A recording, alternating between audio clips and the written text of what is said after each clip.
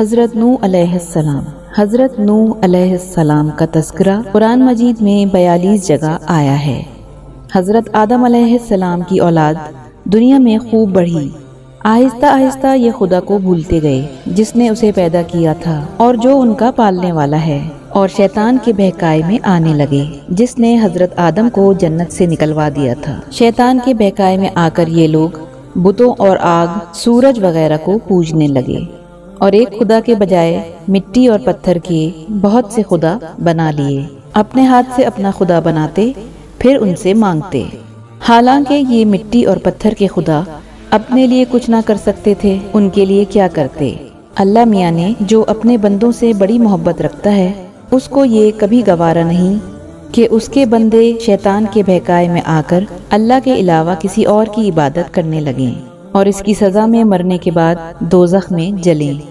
अल्लाह पाक ने हज़रत सलाम को अपना नबी बनाकर भेजा उस जमाने में लोगों की उम्रें बहुत बड़ी होती थीं।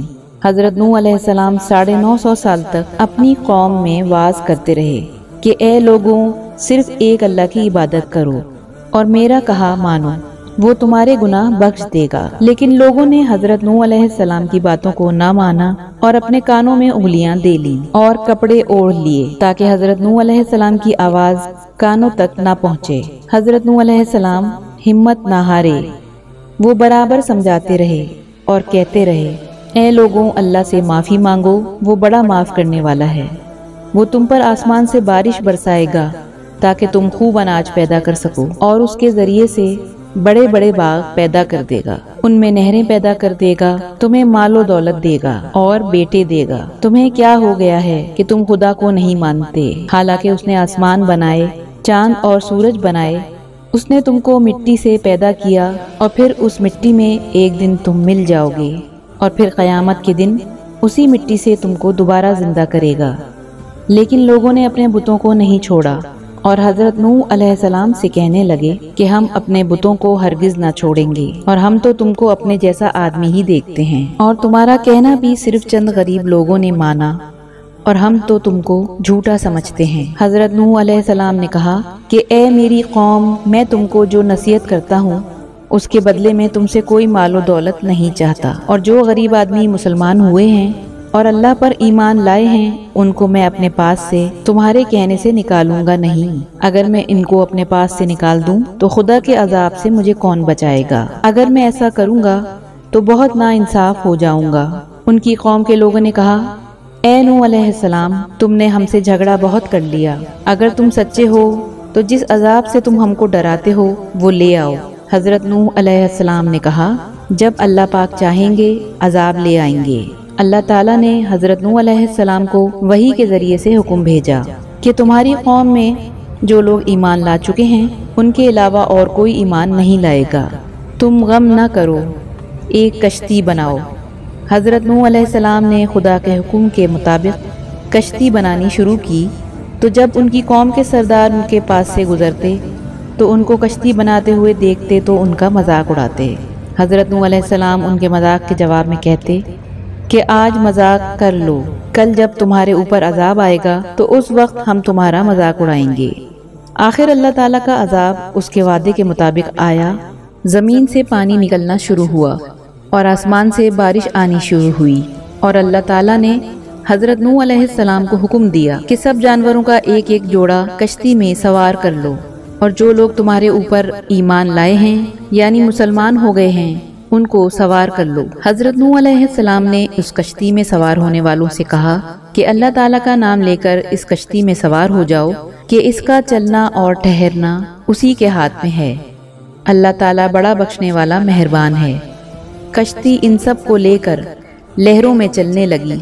तो उस वक्त हज़रत नू ने अपने बेटे से कहा, ए बेटा, हमारे साथ सवार हो जाओ और काफिरों के साथ मत हो। उसने कहा, मैं किसी पहाड़ पर चढ़ जाऊँगा। और वो पानी से बचा लेगा।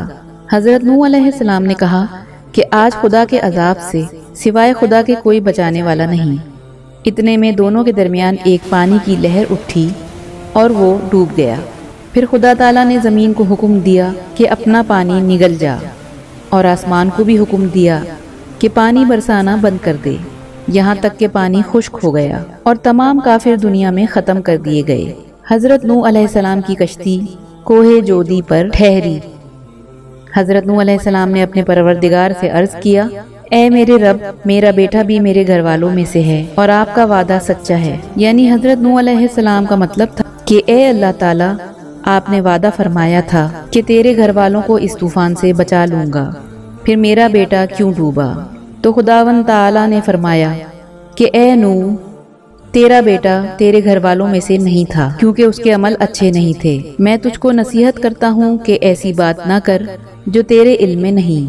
इसलिए कि कनान, अल्लाह के इल्म अजली में काफिर था, और ये बात नू सलाम के इल्म में ना थी। हज़रत नू सलाम ने अल्लाह पाक से तोबा की और अपने कहने की माफ़ी चाही। अल्लाह पाक ने उनको माफ़ कर दिया और हुक्म दिया कि, ए नू हमारी तरफ़ से सलामती और बरकतों के साथ उतर। इसके बाद हज़रत नू सलाम की उम्मत से दुनिया बसी और आहिस्ता आहिस्ता इनके बाल बच्चे आबाद होते गए। ये सब लोग खुदा ताला की इतात करते रहे। जमाना गुजरता गया और आहिस्ता आहिस्ता शैतान ने फिर बहकाना शुरू किया। तो ये लोग खुदावन ताला को भूलने लगे। हज़रत नू सलाम, जो अल्लाह ताला के इतने बड़े पैगंबर थे अपने बेटे को उसके बुरे कामों की वजह से अल्लाह ताला के अजाब से ना बचा सके। इस तरह, अगर हमारे माँ बाप अल्लाह के कितने ही वली क्यों ना हो, अगर हमारे अमल अच्छे ना हो तो वो हमको अल्लाह ताला के अजाब से ना बचा सकेंगे। हमको अपने बुज़ुर्गों के नेक अमल का सहारा नहीं लेना चाहिए, बल्कि अल्लाह ताला और उसके रसूल सल्लल्लाहु अलैहि वसल्लम के बताए हुए कामों पर अमल करके नेक बनना चाहिए। इसी वजह से अल्लाह ताला ने कुरान मजीद में कहा है कि अगर तुम एक जर्रा बराबर भी नेकी करोगे तो उसका बदला हम तुमको देंगे। और अगर एक जर्रा बराबर भी बुरा अमल करोगे तो वो भी तुम्हारे सामने आ जाएगा। अगर आप ऐसे ही मजीद वीडियोस देखना चाहते हैं तो इस्लामिया चैनल को सब्सक्राइब ज़रूर करें। शुक्रिया।